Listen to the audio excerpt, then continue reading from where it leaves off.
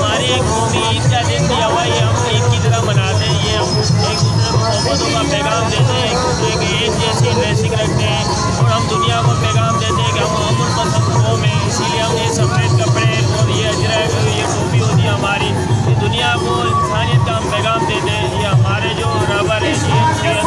उनका भी इंसानियत का ही पैगाम दिया था हम भी इंसानियत का पैगाम दे रहे इसीलिए इसको हम कौमी ईद का दिन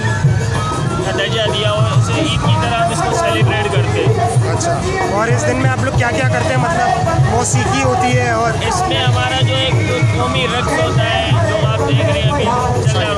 कौमी रक्स है। और जो सूफी कलाम होते हैं, वो होते हैं अपने। मौसीकी होती है। इसमें खाने भी हमारे सकाफत के होते हैं, जैसे पली साहब हो गया, ऐसी ड्रेसिंग हमारी जबान सब हमारा सकाफत में, हमारे कल्चर में। और ये जो